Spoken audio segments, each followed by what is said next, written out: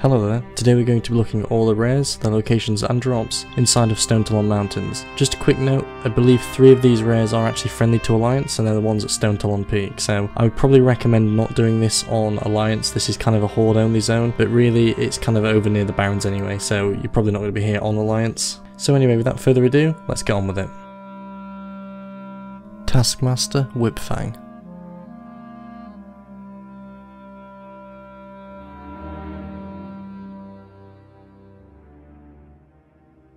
Our first rare is Taskmaster Whipfang, a level 22 elite gnoll that hangs around inside of Windshear Crag. Being a 22 elite, obviously you do have to watch out, he does hit reasonably hard, but nowhere near as hard as some of the other rares in this zone. And yeah, he's normally by himself, he doesn't really move about much either, so that's all good. And yeah, it's pretty much just to kill him when you can. As for drops, he will guarantee you a green, but the green is completely random, no unique loot here. Foreman Rigger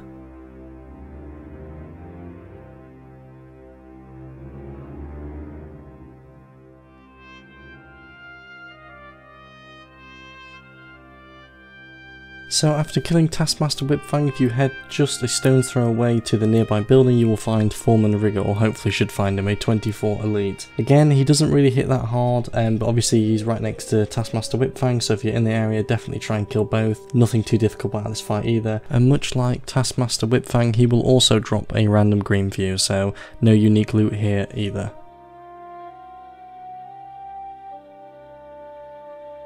Pridewing Patriarch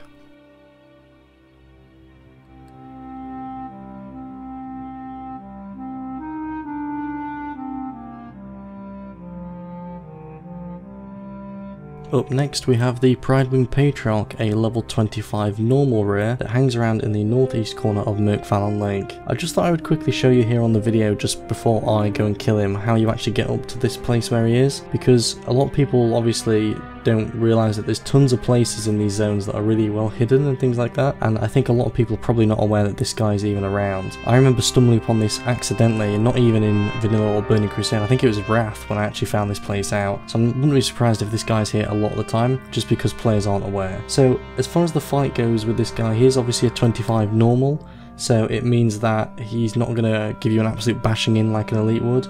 That being said, he's probably a normal because he has like three or four ads around him and the fight can get a little... I mean, if you don't have AoE, you're going to struggle a little bit. So if you are an AoE class you could probably solo it, if not I would probably take a friend with you. The reason you want to kill this guy actually is because he does drop unique loot. He has an 80% chance to drop the Webwing Cloak which is a pretty good 5 agility cloak, but the thing that people really would like to come for is the 20% chance to drop the Wyvern Tail Spike, a really cool one-handed dagger that again has that poison attribute and I've said before in previous videos I really like that so yeah definitely worth checking out and seeing if this guy's here. Sorrowwing.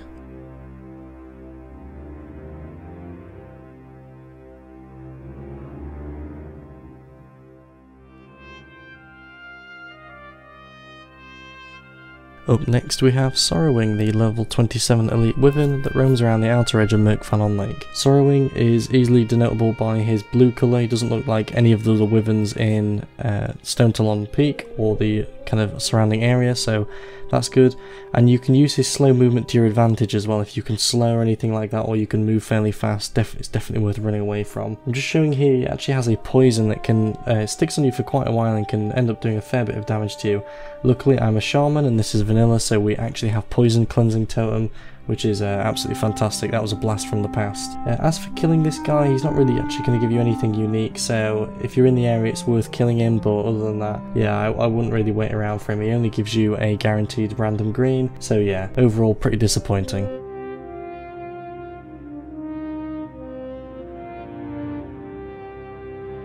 Sister Riven and Vengeful Ancient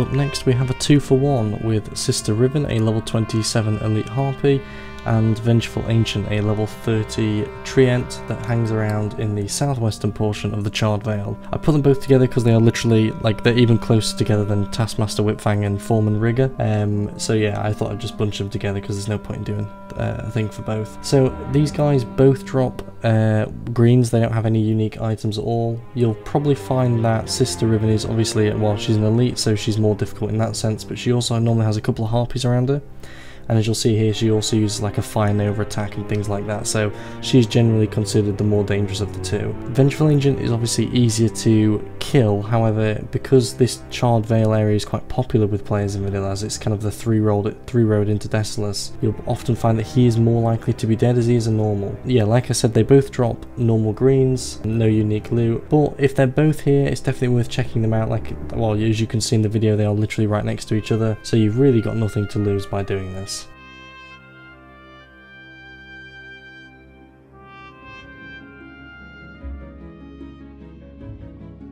Okay, now that is the base area of Stonetalon Mountains dealt with. We're now going to look at the three elites uh, are alliance friendly and horde unfriendly in Stonetalon Peak at the very top of Stonetalon Mountains.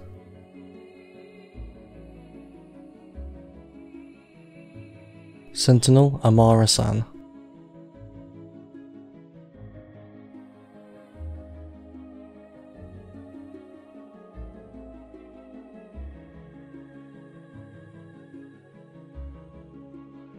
So up first in Stonetalon Peak we have Sentinel Amarassan, a level 27 elite that looks a lot like the guards in Darnassus. One thing she will start doing when you fight her is she will start casting Wrath at you, which is obviously not too bad if you're higher level as you can pretty much resist most of it. I'm not sure what the damage is like at lower level to be honest, I haven't really had a look, I imagine it's quite punishing. When she gets to below half her health she will transform into a panther and that's where the real damage begins. As you can see here I am taking a fair bit of damage from a 27 elite, so yeah. As, if you kill her she doesn't drop any unique loot unfortunately, however she does have a guaranteed greens, so if you are in the area, definitely worth killing her, but I wouldn't go out of your way for it, as it is kind of a bit of a journey.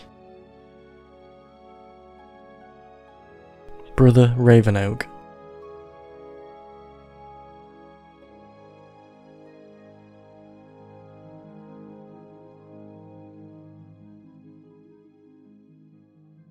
So now we have the unofficial hard mode of Stonetalon Mountains, the two rares inside of the Talon Den. The Talon Den is pretty much just entirely covered with elites and is very very difficult. To get to Brother Ravenoak you will need to head down, take the first left over the first bridge and then carry on straight and then go straight over the second bridge and he's in a little nook with several other elites. I took a crap ton of damage from these, it almost killed me, and I am a level 60 with raid gear, so just bear that in mind, you are always, you're going to need at least two or three of you here to do this. The incentive coming down here is that obviously someone at Blizzard realised it was a right pain in the arse, and they put a chest next to him. So you can pretty much double dip with these ones. You get a random green and you also will have a tattered chest as well nearby. So definitely worth checking out. There are a couple of quests that send you down here on horde with decent xp so yeah definitely do it if you're here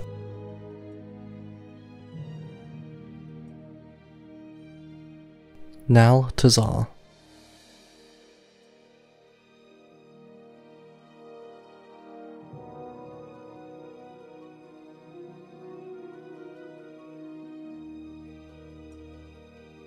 So finally we have Nal'taszar, the highest level and a level 30 elite fairy dragon inside of the Talon Den, right at the back as well. I'm just showing you here really sped up because it'd take far too long to show, but right after you kill Brother Ravenoak, I'm just showing where you need to go in order to get to Nal'taszar. It's a little bit convoluted, I think there may be a quicker way, but these underground caves always confuse me, so yeah, apologies. As for the fight itself, it is pretty terrible. I mean, I fared better in this one than I did against Brother Ravenoak, but I think that's because I knew what I was getting myself into this time and I came a little bit prepared with um, you know, various shamanesque uh, abilities and things like that. Primarily, the it was the fire nova totem that basically saved me. So yeah, yeah. But um, yeah, Nal'taszar will do a couple of spells on you, and it can be pretty bad. I think he does some sort of mana burn. If you're a magic user you're basically going to take more damage um, when you're fighting this guy.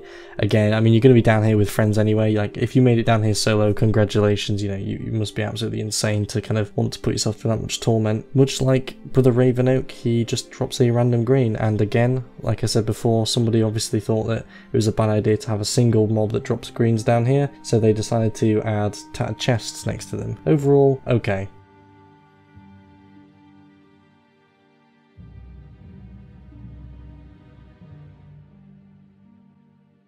That is it from me, that is all 9 rares, the locations and drops inside of Stonetalon Mountains. Apologies if this video is a bit long, some of these mobs are particularly tricky in that they kind of have weird spawn locations or there's something particularly difficult about it that I kind of need to mention, so I know this video did go on a bit longer than you probably would need to. Overall, Stonetalon pretty disappointing for a zone because, you know, just lack of unique loot really. As always, if you enjoyed the video, please do leave a comment and let me know, and if you'd like to see more of these, subscribe to the channel.